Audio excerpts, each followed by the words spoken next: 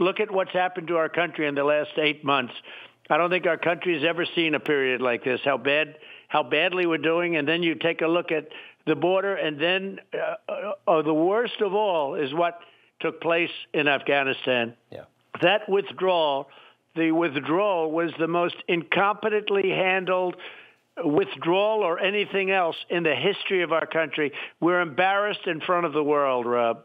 I mean, how, how, did he do it? You know, you, you, look at this, it's obviously not an easy job. You know that. But when you look at what Biden has done in just such a short period of time, he had every advantage, right? I mean, people joke all the time. All he had to do was just show up. Everything was kind of set up pretty nicely. He had the vaccine going in, he had a secure border, uh, and he managed to just fumble so many things. How, how, did you ever think it would be this bad? Well, I used to say a lot of bad things are going to happen. I didn't believe them on energy. You know, they were saying energy just fine. We'll sort of leave it, but they didn't leave it, and now we're no longer energy independent. We were energy independent a little while ago. A dollar eighty-seven a gallon for gasoline. Now it's at five dollars and higher in many places. But I mean, that's the least of it. Inflation, all of the things that are happening. But when I look at the border where people are pouring in by the millions, and then you look at what happened in Afghanistan, and now it was just revealed today that they didn't vet the people. They didn't vet any right. of these people coming out. They're vetting them now. They're already out. It's uh, there's never been anything like this between the the killing of our young people, our young great people, and by the way, 250 other people, yeah. and also the giving them 850 billion dollars worth of the best military equipment in the world there's never been a, a, greater embarrassment than we've suffered this last week. You know, I, I want to talk more about Afghanistan. If you, if you watch uh, the mainstream news, I know you do, Democrats, their allies in the media, they suggest a lot of the blame on this lies with you, that your policies, that your agreement set Biden up to fail. I want to get your response to that. Well, it's so ridiculous. And actually, they're not using it too much anymore. You know, we had a great agreement. You don't kill our soldiers, I had very strong talks with the leader, Abdul. I had a lot of strong talks, and they knew what was going to happen. And you just take a look over the last few months. That's when the whole thing fell down. I was not there and it all fell down. But they knew, don't mess around. We had, can you imagine taking the military out before you get your citizens out, the American people out? They took the military out first. We took the military. We would have taken it out last. And by the way, they didn't meet the conditions. And every time they didn't meet the conditions, we bombed them. Look, I stopped ISIS, 100% of the ISIS caliphate. Soleimani, uh, al-Baghdadi, all gone. This was easy by comparison. And what they did is a disgrace to this country. And I haven't heard they're blaming. I heard they tried to blame me at the beginning, but now they're, they're getting shut down even by the liberal media. What they did is a disgrace to our nation. This should have never happened. Those young people and all of the others should have never been killed. And it's, by the way, they shouldn't be having our billions of dollars worth of equipment. Yeah, that's that's the biggest embarrassment. I mean, that's just that's just so humiliating to watch uh, these Neanderthals walking around wearing our equipment and, and running around in our, our trucks and in our helicopters. It's just unbelievable. Lindsey Graham says, sir, that we're going to be going back uh, back into Afghanistan with boots on the ground at some point. What are your thoughts on that?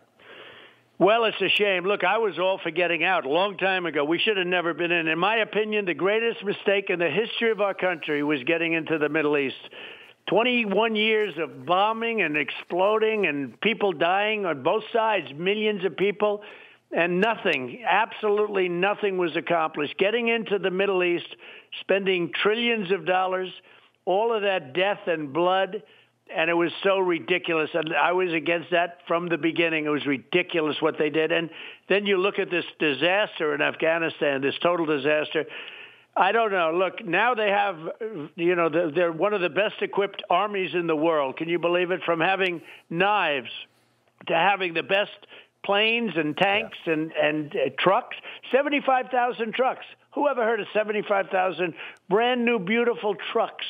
what they did. Why didn't we take it out? It's not even conceivable that we didn't take this stuff out. The airplanes, we left them, helicopters, airplanes.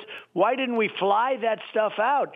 Billions of dollars. Well, they, now, they thought the Afghan army terrible. was going to use it, right? They, they were under the impression the Afghan army was going to hold on, and somehow yeah. they did not see this coming, which is just unbelievable. Well, I saw it coming, and a lot of people saw it coming. I've been telling, I've been saying for years that that place. I said Ghani is a crook. I never ever trusted that guy. Ghani was a crook, and now they catch him leaving with cash. So much cash he couldn't fit into his helicopters. They left it on the runway, a lot of it. But Ghani, and they were going to immediately fold when it's obvious that we had to leave or we were going to leave. And that's what they did. The United States paid these people a fortune to fight a war. They weren't fighting from their heart. They were fighting because they were being paid a lot of money.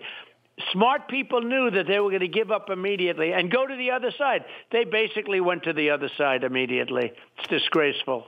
It is disgraceful. We could, we could talk about Afghanistan all day because uh, we've been highlighting on the show. It's been mistake after mistake after mistake every night. It's just more embarrassment for the country. I want to move on to China for a second because it's important.